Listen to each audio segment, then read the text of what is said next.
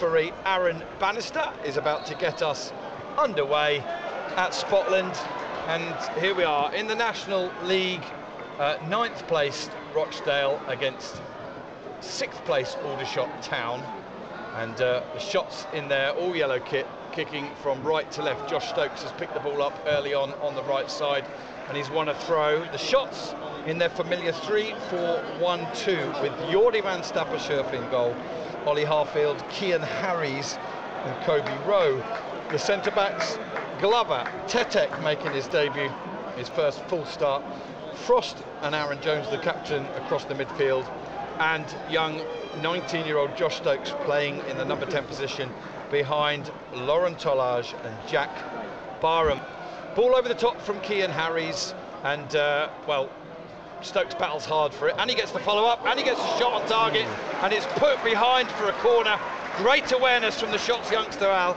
As always, I mean, he's more than just a goal scorer. He, has got great awareness and vision, and he saw that ball drop and waited and waited, and uh, then he turned and volleyed it. It was a good save. On remains nil-nil. Oxford City have scored again at Ebbsfleet, who uh, continue to go through a difficult time. And there's Aldershot defending uh, well against the uh, the number 18, Kian Hayes. Ball comes back in, comes down off a combination of Jordi van Stappershoef fist and the crossbar. Um, very inadvertent, but Rochdale coming closer so far. Rochdale and Uchegbalam will come forward. Oh, great tackle from Harries. He's won the ball back. Sends it to Tolaj inside the penalty area. Looks to square it. Barham's got it back to goal. Can he shoot? Yes, he can. Jack Barham on the spot for Aldershot Town. Great work from Tolaj. The ball initially won by Kian Harries. And the shots take the lead here at Spotland in the 37th minute. Great work from all three players. Rochdale nil, Aldershot Town one. Outball. On this occasion, he plays it inside to Clayton. Clayton to Gilmore.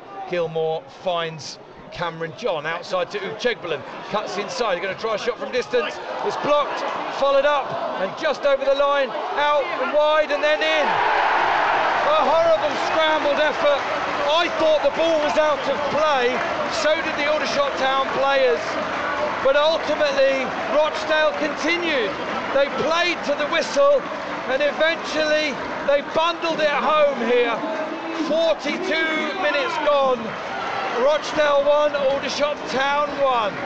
Not had a lot of game time this season. So, uh, so, anyway, the free kicks in a very good position. Up steps Clayton. Ball into the air. Kairo Mitchell shoots. It's a point blank save low down from Jordi van Stappershoef when Kairo Mitchell should have been scoring there. Another cross comes into the area, headed away by Kian Hayes. Harris, oh, and a volley at the goal is sweetly struck by Kian, but it goes wide. 67 minutes gone, one all. Defensive work today and he's been quite robust with one or two of his challenges. Yeah, a little bit of a shoulder barge here and there. My heart has been in the mouth a few times. Corner taken short and uh, out to the edge of the area, clipped back into the far post, and it must be a goal. And at the third attempt here, Kairo Mitchell has scored for Rochdale. And it's Rochdale 2, Aldershot Town 1. Kairo Mitchell, header at the far post. While here's Kian Harries with the ball in. Tolaj toes it back, and uh, Rochdale get a foot on it. Frost probably should have got that. Then Mitchell gives it away to Willard. Willard shoots oh. just wide. Wondered if there was a little deflection on it, um, but uh, not given. Laid up. Taylor wins it in the air. Harfield gets the ball out of his feet to the left-hand side to Willard yellow shirts piling their way into the box. Willard goes down the left. Can he get the ball in? He does pull it in. Rowe! Shot on target, blocked and cleared by Rochdale. Rowe did well to steer it towards goal. Rochdale did well to clear it away. And there is the final whistle. And Rochdale have taken all three points here at Spotland.